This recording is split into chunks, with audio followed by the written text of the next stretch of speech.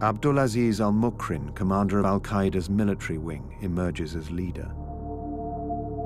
He is determined to go on the offensive.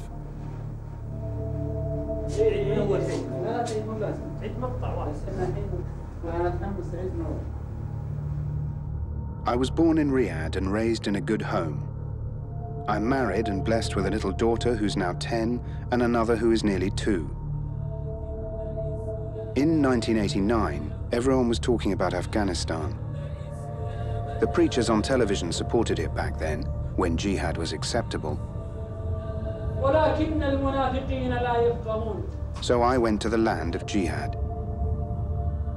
I trained at the Wa'al Jihad camp, where I became an expert in many military techniques. I participated in the wars in Afghanistan and Algeria. Then God allowed me to take part in the fight in Bosnia. Later I went to Yemen and then to Somalia. There, I was imprisoned for two and a half years.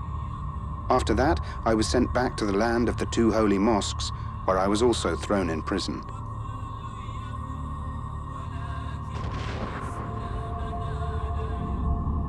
A month after my release, God allowed me to go back to Afghanistan, where I took part in the recent fighting against the Americans.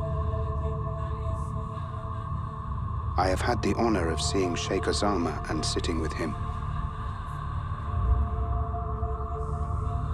My relationship with the Sheikh is like that between a son and his father, and between a student and his teacher.